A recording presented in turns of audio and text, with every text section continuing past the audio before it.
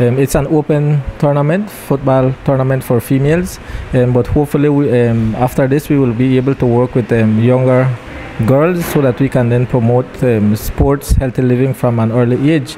It is important to note that the Cayo Sports Council doesn't only promote football, but we promote the all um, sporting disciplines, basketball, football. So we are looking forward to partnering with other entities. That's how we have partnered with Westline to promote um, um, female programs or female athletes.